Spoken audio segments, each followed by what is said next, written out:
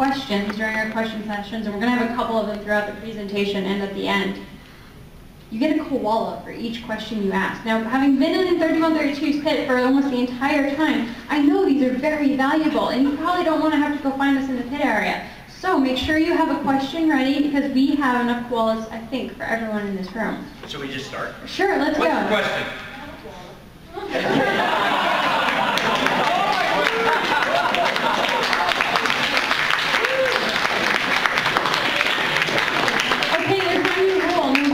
no repeat questions. Yes. Can I have two walls? Oh, uh, too close.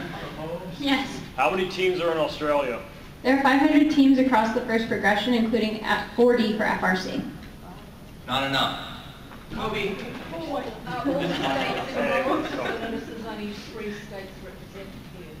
Um, I don't know if all the states are involved because I know not all the territories are involved, and we have some very large territories in Australia, so we kind of include them in the states thing. And um, the Northern Territory, I don't believe, has any teams anymore. They used to have some, but not Yet. at the moment. Yet, yes, yet. Oh. There we go. Got it. One last question before we get going. Why is it called Diamond Bear? I don't know the answer. Because it's not inside? All right, and with that, we may actually get started with the content of the presentation. Don't worry, there's more time for questions, you will have your chance to get a koala. All right, so I'm going to be talking a little bit about the history of the robots in the Outback, how this began, and um, what we did this year. All right, so the first question everyone asks is, why are you guys doing this? And it boils down to two things for me personally, and I think for all of us involved with the program. First off, as you all know, I'm sure, first is for inspiration and recognition of science and technology. And that's our goal, is to inspire and recognize incredible students in the fields of science and technology. You've heard it a million times. You've listened to Dean Kamen talk about it. You don't need to hear me talk about it more. But the thing that it comes down to for 3132 is our mission statement, STEM for everyone, everywhere. And we want to bring first to everyone and everywhere. And you can't do that if you're not willing to go into places like the Outback. These kids are not easy to reach. we have some of them here. Because they're so remote and they're so rural. And a lot of times they've been deemed too hard to reach because they're too hard to get to them. But if we're going to bring STEM to everyone everywhere, we have to bring it everywhere. And the part of that is going into the Outback, which is why we're doing this, is to inspire students in these rural and remote communities. The program started last year in 2015 in two small towns. They were called Ivanhoe and Yanco. We traveled to both. You can see Ivanhoe, it's a little dark here, but the population on that sign says 350. That sign's pretty out of date. That includes flies. I'm pretty sure it does. Um, they're actually only about, it's just under 150 at the moment, population. Um, and their county, so just their county, is the size of West Virginia, and they're the third largest city in the county. The school draws for a third of the county, so a third of West Virginia is the entire school. K to 12, actually, I'm give out more cool. Let's take a guess how many kids are in this school. K to 12, population 150. Is that just the town, but really they, they draw from a wider area. No. Any other guesses? Yeah? 42. Close-ish? No. No. Very close. 36. 35. 39. The when we went there, there were 30. That was last year. This year, there are 22. In the high school, we didn't think they were going to be able to have a team this year because they were down to one student. Thankfully, another family moved into town and they got up to five, so we were okay. And high school in Australia is year 7 to 12, so in five grade they had five kids. That tells you a little bit about how rural and remote, and that's a third of the size of West Virginia again. So these are really remote communities. Yanco is, I mean, it's massive. They've got 3,000 people, so. Um, next slide.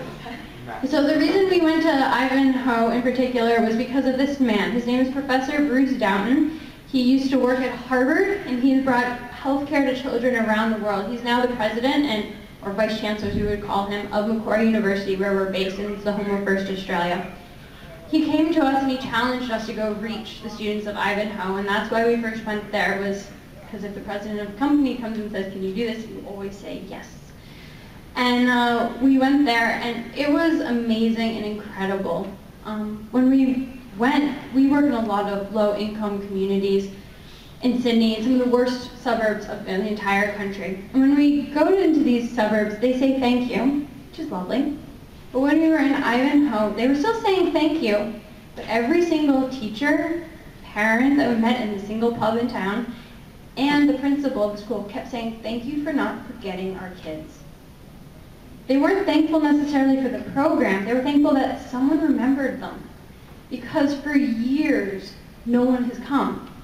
It's been the truck or two that happens to go through the town, and that's it. They are truly the forgotten kids of the entire world. And that's when it hit us, the true power of this program. It's more than just science and technology. It's getting these kids a hope for the future. Because right now their only hope is moving to a city. And we want to show them that science and technology are cool and that they actually can make a difference in Ivanhoe with science and technology. All right, so that was 2015, Ivanhoe. They actually did really well. They won Rookie Inspiration at the Sydney Regional, which was fantastic. And out of the six kids that were on the team that year, uh, five of them intend to go to university now, which was pretty amazing. So we had this incredible experience in 2015 with Ivanhoe, and we thought, right, how do we make it bigger? How do we reach more of these forgotten kids? Because it was a life-changing experience for all of us on that trip, and we wanted to bring that to more kids and more people. So we decided, all right, it's time to scale up, just like the robots this year. And uh, we thought, who better than Google? Google is the masters of scale. You look at Google and their scalability, it's incredible. So we talked with Google about it, they're incredible sponsor of First in Australia, and they said, you're right. What would you do if we gave you $300,000? We said, huh. We could start 150 FLL teams and 15 FRC teams. They said, all right, here you go. I said, okay. Oh no, now we need to go do this. Um, to date, it was over two years, and I'm proud to say today we have 130 out of those 150 FLL teams and 11 out of the 15 FRC in one year. So we've done pretty good.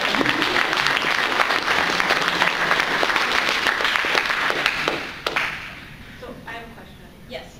Okay, so we're in rural Nebraska, which isn't quite that rural, but is rural. How do you find parents that are, are mentors to, to take on and keep these teams going? Yes. You happen, it's like two slides away, I promise. You were just ahead of me.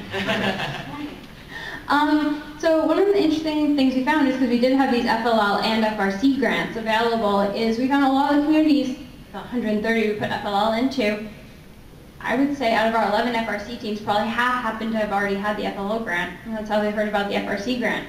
And now that we've done FRC, all those communities, well, most of them, I think you guys are one of them, want to have the FLL grant.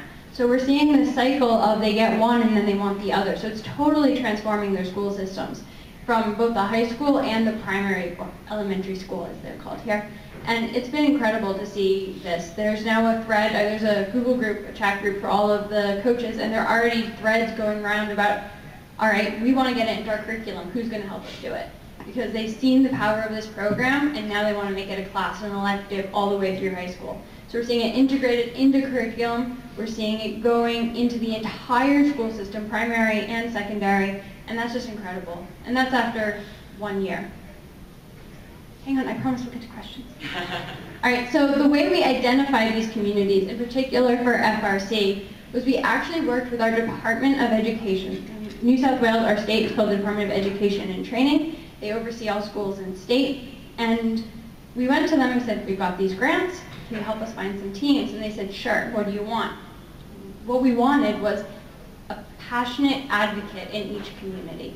So we identified teachers um, in each of these schools or a community leader in some cases who would be able to help us. So in our case, it was mostly teachers we were looking for, not parents, but you could identify parents. So we went to the government. Um, the Premier's office, which is the equivalent of like the governor in the state here, he, their office was also helping us with this. And through that, we were able to identify the communities that we wanted to target in state. With that identification, we then um, had an application process. So what they had to do was we put together a template for a business plan that they had to complete. They then had to send that back to us um, for editing, and that counted as their application, at which point they received the grant from us. Now, if you look at the Argosy grant for rookie teams, it turns out you have to submit a business plan that our template happened to fit perfectly into. So we then had each of these teams apply for the Argosy Grant Foundation, or Argosy Foundation grant, and nine out of 11 got it. So that was just some extra funding for the team, as well as extra funding for the program, so that way we could help them do more things. So one of the things that we were able to do, because we got all these Argosy, well, the teams got all the Argosy Foundation grants, was they all got pneumatic wheel upgrade kits.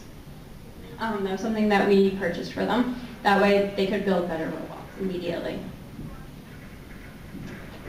All right, so this is just a short case study. This is Narooma, which happens to be very close to Ulladulla, who we're going to get to here in a second.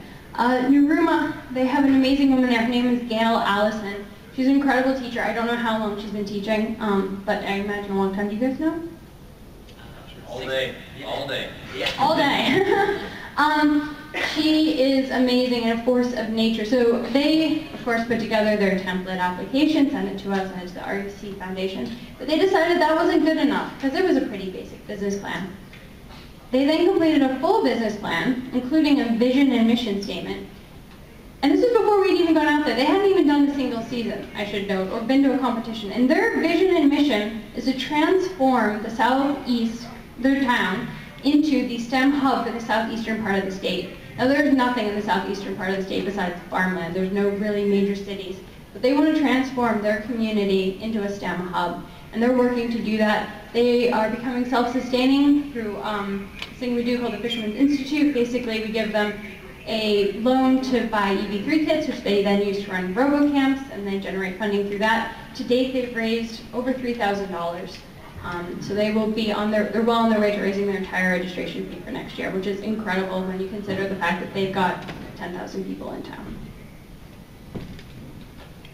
So how do we know it worked? How do we know these teams are really happy and we did inspire the kids? Well, after the Australian Regional, they all seemed really enthused. We had some great outcomes, which I'll get to in a minute. But already I'm getting emails from the kids that were on the teams so when's the Duel Down Under, which is our off-season event? C- Could we come to that? Because we want more of this. How do we get more of this in our school? What is it? And can we come? And do we have to pay a fee? And how would we raise the money for the fee? They are already looking towards next year and next season and what they can do, which is so incredible to know that we've made a lasting impact. It's not just going to be a one and done. All right, so the other really cool thing that we had happen was we, the Thunder Down Under, our second pick at the Sydney Regional was a team called 6035 House of Ulladulla from Ulladulla, New South Wales, which was one of the Robots in the Outback teams, and we went on to win the regional. So they are here today. They're actually in the front row, so I'm going to invite them up, and we're going to do a little Q&A panel with them so you guys get a chance to ask questions of people who are actually in the program. So I might kick it off. Even though you guys don't seem shy of questions, which is good.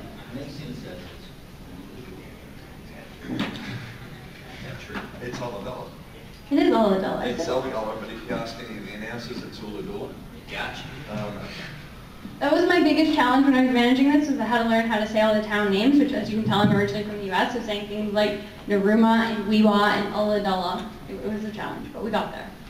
Interesting names. All right, so can you start off by introducing yourselves and, grab a mic, and uh, just tell us, I guess, what grade you're in or what your profession is. We're ready to start. I'm Ben McKay and stuff. um, I'm just um, 10, 10th grade. 10th grade, E10, whatever. Yeah. I'm Jaden Levercode, and I'm grade 10. Um, my name's Andrew Lake and I'm an industrial arts teacher. All right, and so what was the biggest thing you guys got out of the program? Our trip to America.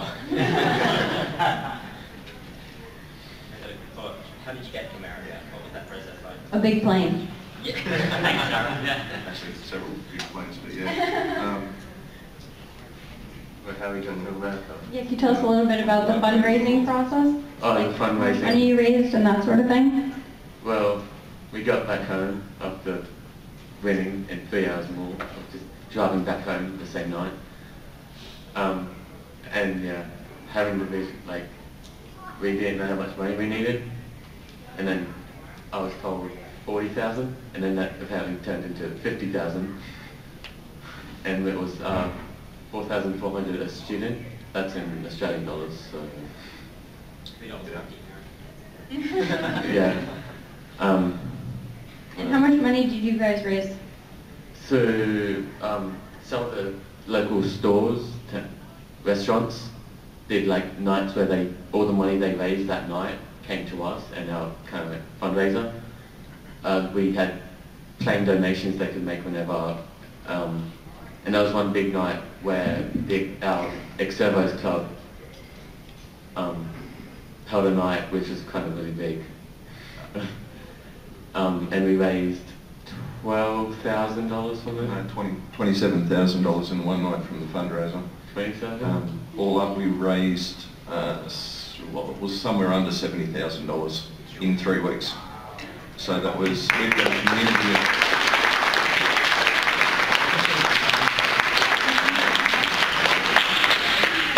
Um, um, to give you an idea, we've got a community of about 16,000 people, um, and it pretty much doubles in holiday times. It's like a um, fishing, surfing, holiday place, really quiet, small community. Mind you, we've got a uh, public school of 1,300 population in the high school, so pretty sizable school. Um, and we ended up with a team of nine um, so we start our school holidays as in the period that the first competition starts, so a lot of the kids weren't willing to give up their holidays to come in. Um, that sort of changed very rapidly when we won the Australian Nationals and we announced the trip to America and they saw what we actually built. They were picturing little toy robots. Um, and yeah, they sort of changed the face of things quite a bit. There's a lot of kids that have suddenly taken interest. The whole community's got on board. Um, it's been incredible.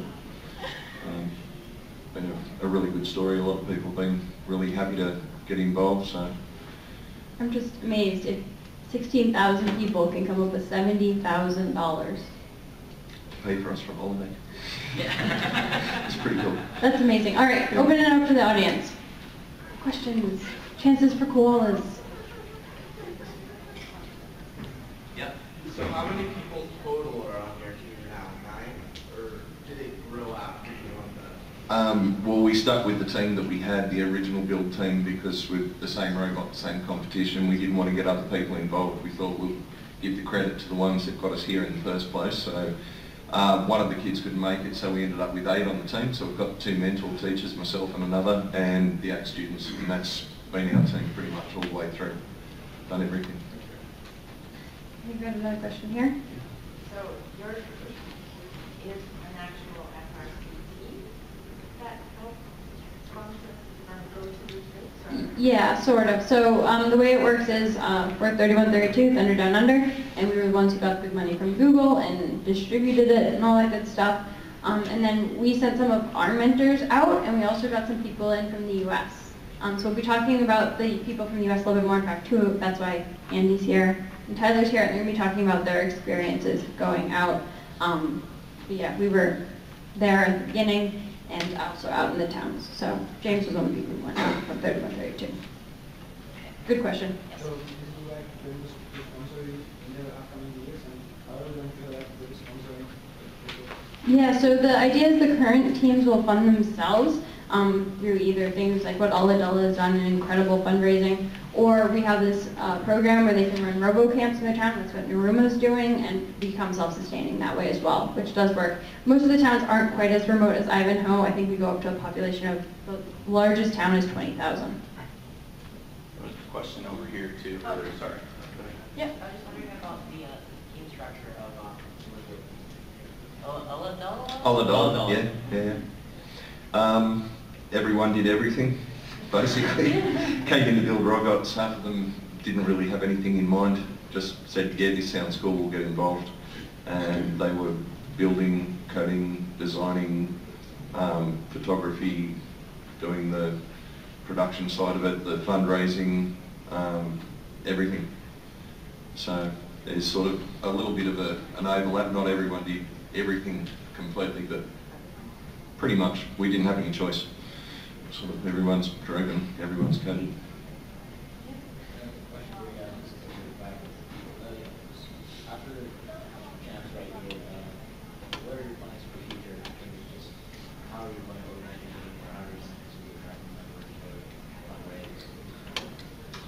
Um, to be honest, we, we haven't had a chance to stop to think about it.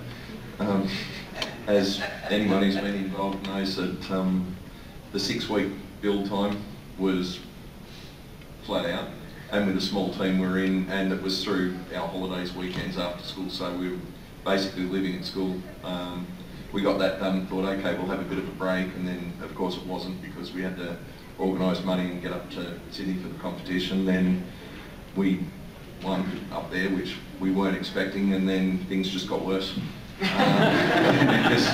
Um, um, and yeah, here I am sitting here and totally bewildered and sleep deprived, and um, Jet lag. yeah, yeah. No, I could be wrong, but I believe only one of everyone who's here from Illinois had a passport going into this. You guys also had to get passports in three weeks. None of us had travelled outside of the country. Only one kid had a passport, and um, yeah, it's just been life changing for all of us. Uh, Andy's got one up the back. Um, does your team have a sub-team system? Like mechanical team that works with mostly all, all the mechanics and uh, electrical team? that works with all the electricals? Um, it's sort of been, like I said, everyone's sort of done everything. We've had um, the engineering students, there was a, a real overlap, like we had four guys mostly contributing to the engineering side that have got a bit more experience, um, but mentoring the year 10s, and then the, myself and the other teacher providing a bit of um, support information, and these guys were um, pivotal in getting things going and sort of establishing a little bit more of a team structure. Um, we had no idea what we were getting ourselves in for. Um, we sat there for a week and a half, two weeks with the two boxes of stuff spread everywhere, and just scratching our heads, not really sure where to start. Um, by the time they got here, we had a basic robot. We had the frame built with the motor sitting in there, and we're sort of like, okay, what do we do now? Um, so very steep learning curve, but everyone sort of come along the journey. Everyone sort of stepped in. Um, we, we had to have a big overlap, so yeah, no specialty people. I realize I should have explained one other thing that I just forgot to put in the presentation. The way the program works is Australian school was out for the first week, three weeks of build season. So during the weeks four and five of build season, they were traveling around New South Wales and Australia. So they would go to each team and spend two days there of intensive build time. And the goal was by the end of that time to have the team well established and to have the driving robot if possible. So that's the trip he was talking about. Can we just start? Yeah. Go here. Uh, how old is the team? Um, started in January. Uh, So, All right, last question for now. Why don't we, I didn't know we didn't get over here. Let's, oh wait, did you already got a poll, didn't you? No. No, okay, go ahead. What division is your team competing here? We're in Archimedes. Awesome. And I just refreshed the rankings and just to give you an update, they're in 13th place right now, so.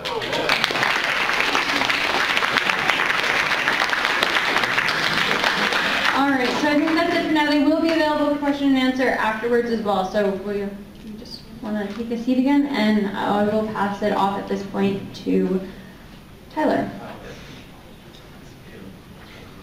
Alright, uh, so I did something a little different. Uh, so this is the Robots in the Outback presentation, uh, but I spent a little bit of time before and after uh, going around Australia as well through a separate grant. Um, so I've been involved with FIRST for a long time, and um, my job ended up being flexible enough that I was able to take three months off as kind of a sabbatical.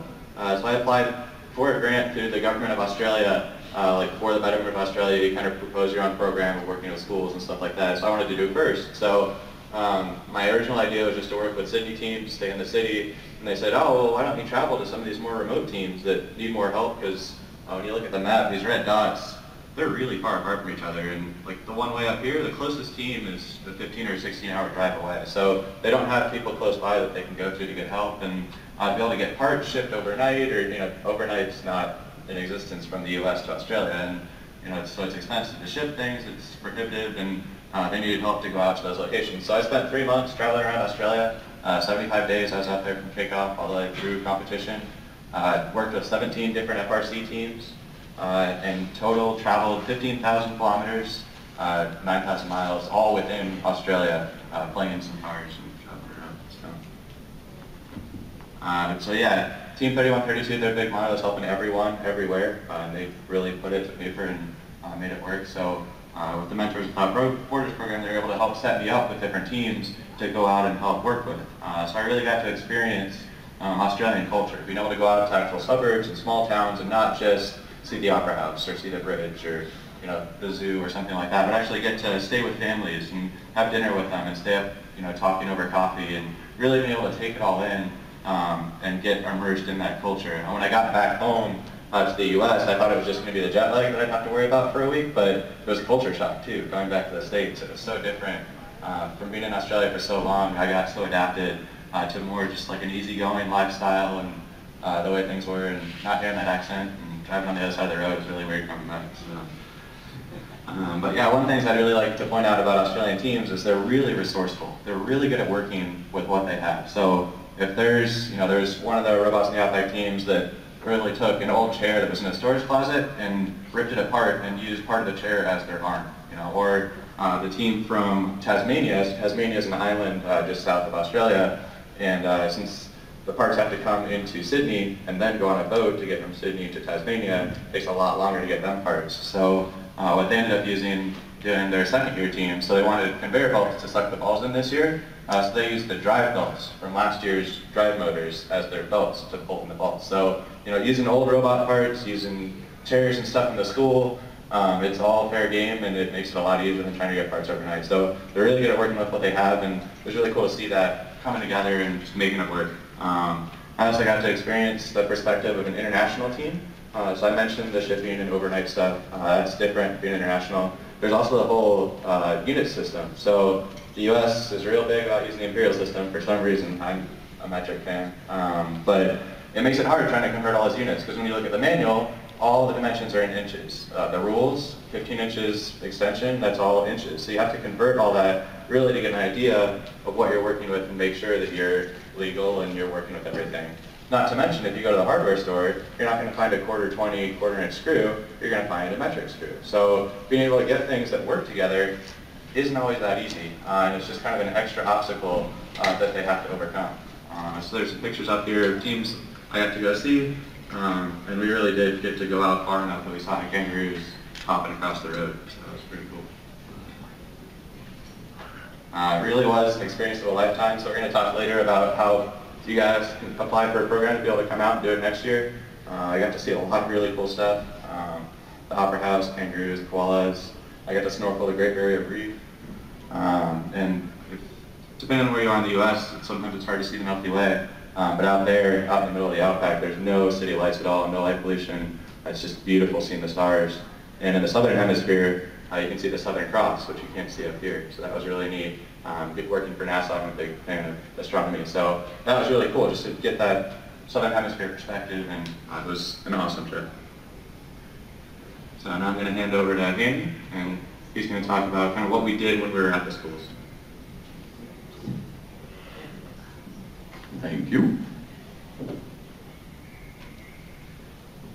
As we stepped into each community, um, we kind of failed our way forward uh, right alongside the, the students and the mentors. Um, but uh, if you fail enough, you learn something. Is that true? You kind of can't help it. Um, one of the things that really became uh, central to the initial engagement uh, when as a team is forming is come up with a decision-making process. How many decisions would you guess, would you estimate you had to make, let's say, the first day that we were all working together? How many total decisions were made? Just a guess.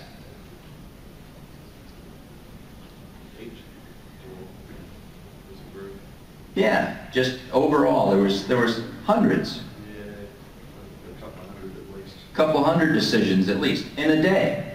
So if the team has a process for making that decision, making those decisions, you can be more thorough about it. And it's kind of amazing when you go to uh, some teams that have been long-standing have yet to come up with kind of a formulated, just what's our decision process?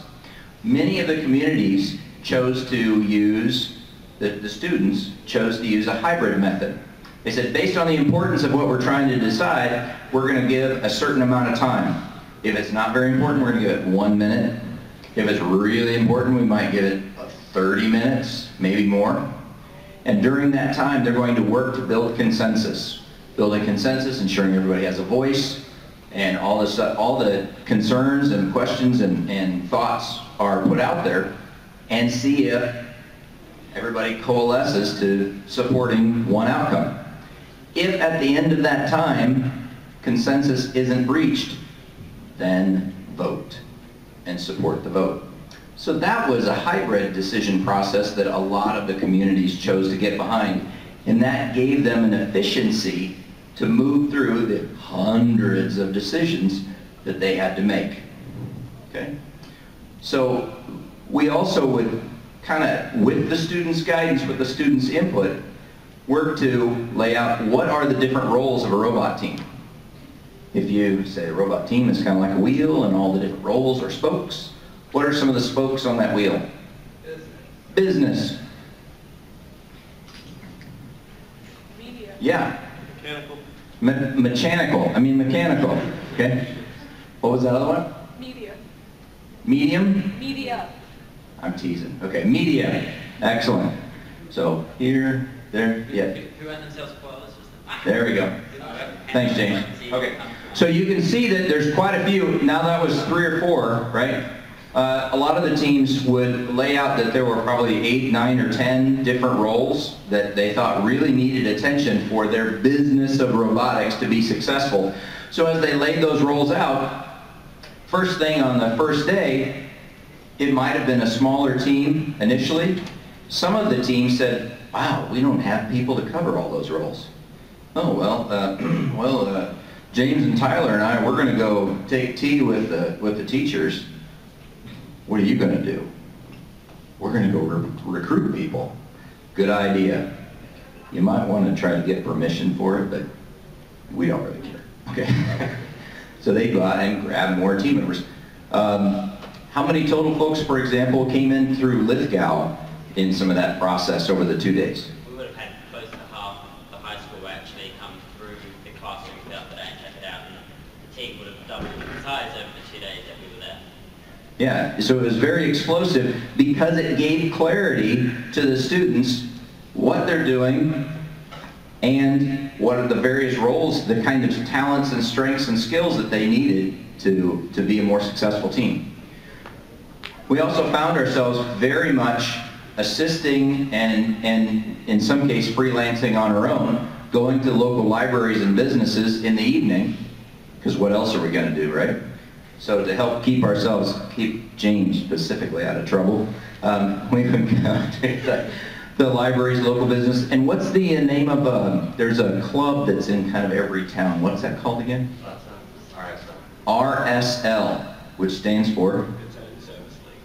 Return Service League. Okay? It's kind of like the American Legion or the VFW or Eagles Lodges and stuff here. So we would go to those places and say, hey, uh, everybody show up in that fancy green shirt that Tyler has. And people would say, uh, in that uh, accent, you know, what are you doing here? Because we all pre-matched when we walked in. Yeah, yeah. Kind of strutting in. And they're like, hmm, couple of Yanks and a guy that we think is English, actually. Guilty. So we would work to create more awareness so that as the students would engage those companies, they, they had a little bit of the benefit of at least some pre-awareness.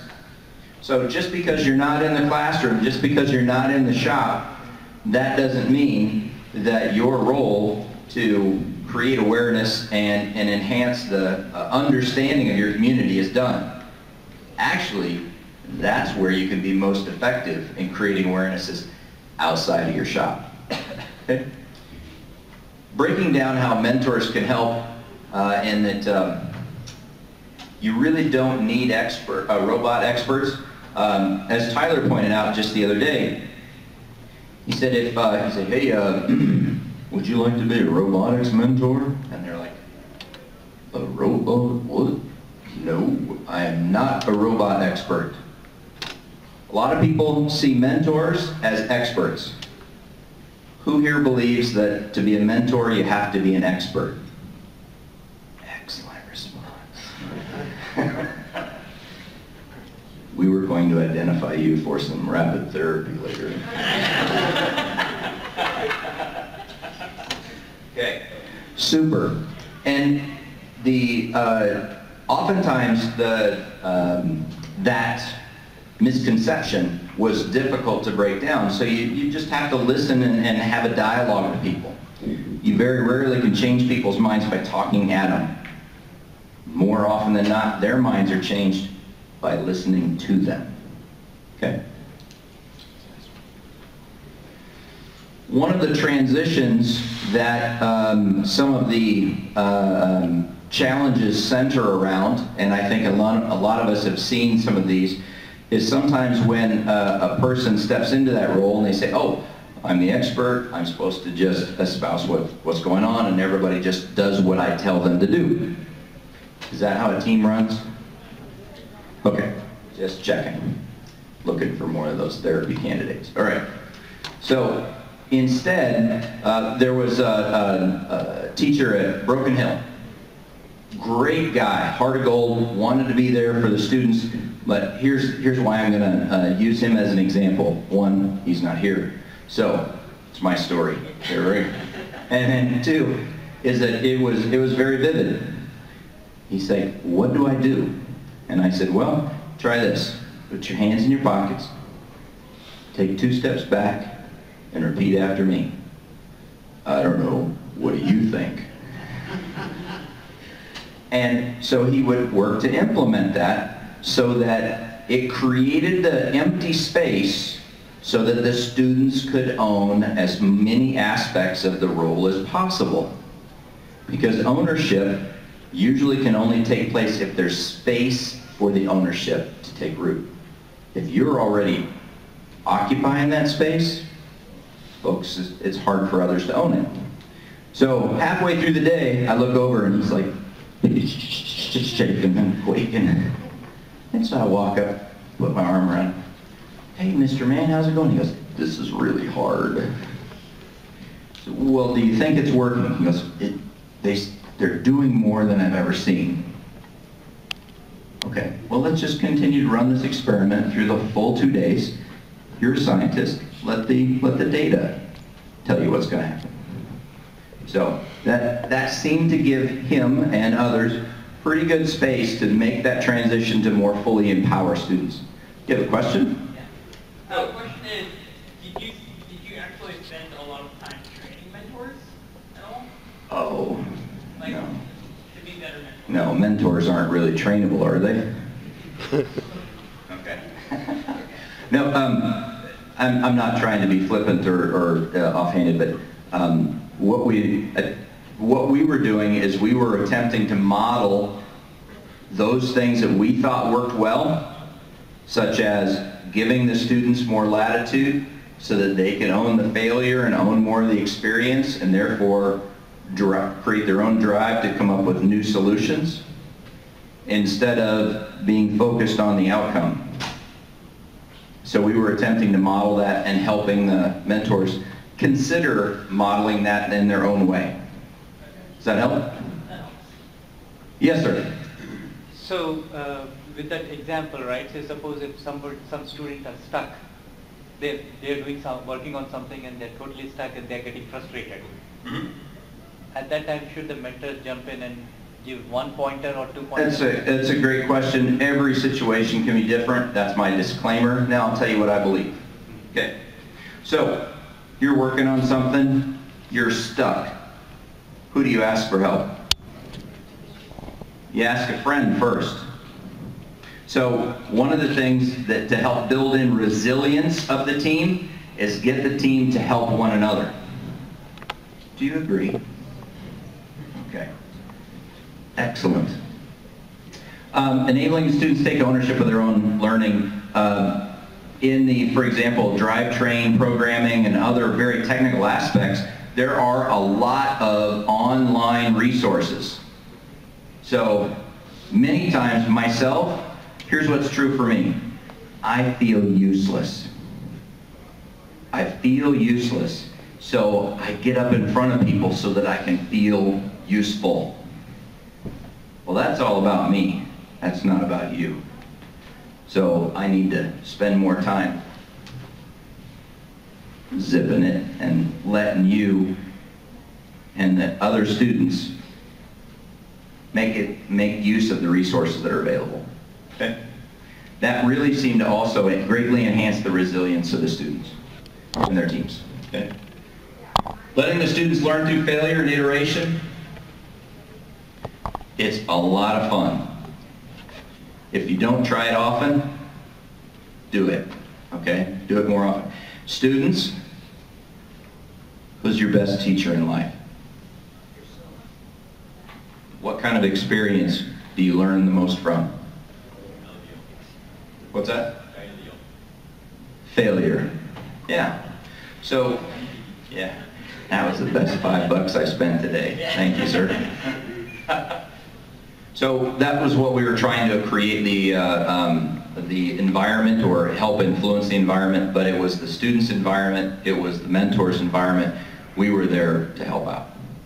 So, James, it's back to you, I think. Is that right? Okay. You, Andy. So uh, I guess my job here is to kind of tail off the conversation about what this presentation is about, why we're talking about everything that we've talked about today. And the general gist of it is we want you guys to do this everywhere. Uh, this is a model that can be applied to all over the place. This isn't just something that's unique to Australia. Know, the United States has its own areas where it could benefit from programs that reach out to low-income areas and provide opportunities to students that wouldn't get access to science and technology normally. Um, so what I'm going to talk about the next few minutes is just uh, a bit about um, the future of the program, where we're at now, where we're looking at going, how you guys can apply what we've talked about today into your own environment. Um, so if we go to the next slide. Right, so what's next? Well, first off, Google has confirmed match funding for 2017. So at a bare minimum, we're going to be doing another 150 FLL teams and another 15 FRC teams over the next two years uh, which is incredibly exciting for 3132 for FIRST in Australia. Um, and we're actually looking at getting that grant tripled so that we can do this program at a much larger scale. And we want to do this because the model that we applied this year and the things that we've learned, things that are actually quite scalable and the more people we get on board, the more teams we can actually reach. There is really very little limit here. Um, so yeah, we want to expand our reach uh, with the Google funding. For first LEGO League, we reached out to all of Australia, so there were no places that were off limits.